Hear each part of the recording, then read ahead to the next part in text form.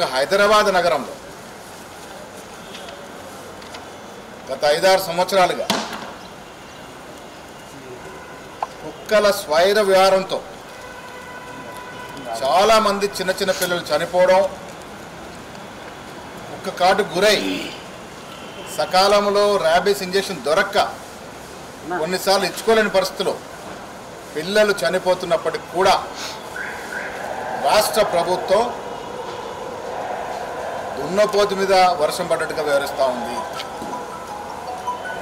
దీనికి సంబంధిత మంత్రి సాక్షాత్తు ముఖ్యమంత్రి కుమారుడు యువరాజు కేటీఆర్ గారు. ఎఫ్ వన్ కార్ల రేసులు చేసుకోవడానికి సరిపడా బడ్జెట్ దొరుకుతుంది. సినీ తారలతో ఎఫ్ వన్ని చూసి వీక్షించి అనుభవించడానికి ఆనందించడానికి సమయం దొరుకుద్ది. కానీ మున్సిపల్ శాఖ మీద తన దగ్గర ఉన్నటువంటి శాఖ మీద సమీక్షలు జరిపి ఇలాంటి సంఘటనల మీద స్పందించడానికి మాత్రం సమయం లేదు ఆయన దగ్గర.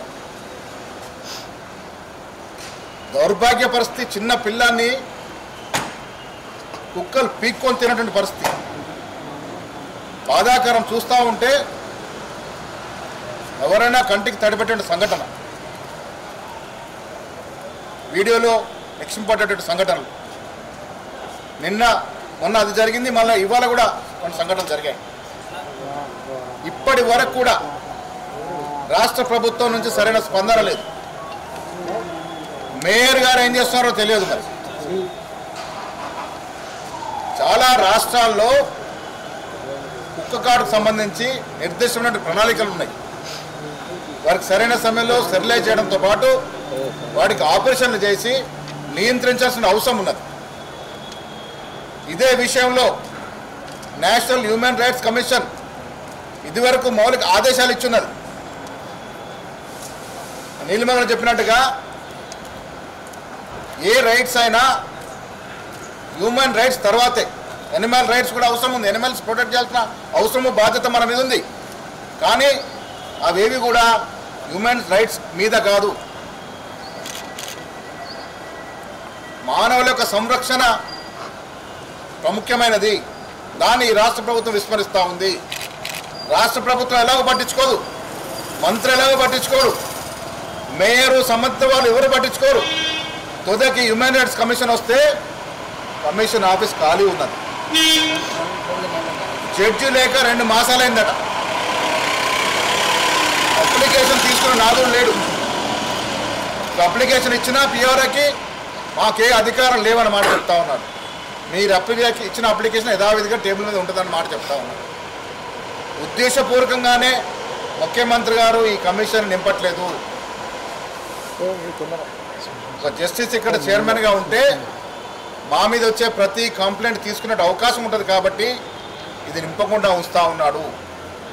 ఏ రాష్ట్రంలో హ్యూమన్ రైట్స్ కమిషన్ ఉండడం అనేది తప్పనిసరి అవసరం కూడా. ఇవాళ రాష్ట్రంలో ప్రతిపక్షాలు గొంతే ఏ విధంగా నొక్కుతా ఉన్నారు? శాసనసభ్యులు పార్లమెంట్ సభ్యులు యొక్క గొంతు ఏ విధంగా నొక్కుతా ఉన్నారు? విద్యార్థులు నిరుద్యోగుల గొంతు ఏ విధంగా నొక్కుతూ ఉన్నారు? పోలీసులను ఏ విధంగా ప్రయోగిస్తూ ఉన్నారు? వీటన్నిటి దృష్ట్యా గోడు వెళ్ళవసుకుందామంటే హెచ్ఆర్సీ కూడా లేదు. ఇలాంటి దౌర్భాగ్య పరిస్థితి రాష్ట్ర ప్రభుత్వం ఉంది. ఇప్పటికైనా సంబంధిత మంత్రి కేటీఆర్ గారు తమను నిద్ర లేచి దీని మీద ఇమ్మీడియట్గా స్పందించండి. అన్యాయంగా ఒక బాలుడు మా నిజామాబాద్ జిల్లాకు చెందిన ఒక బాలుడు అన్యాయంగా బలైనాడు. ఇక ముందు కనీసం ఇలాంటి సంఘటనలు జరగకుండా మీరు తగు జాగ్రత్త తీసుకోవాల్సిన బాధ్యత మీ మీద ఉంది. ఈ సంఘటనలన్నీ కూడా రాష్ట్ర ప్రజలు గ్రహిస్తూ ఉన్నారు. మీరు జర మీ బాధ్యతని సమర్థవంతంగా సక్రమంగా సకాలంలో నిర్వర్తించాల్సిందిగా కాంగ్రెస్ పార్టీ హితవు కోరుతా ఉంది.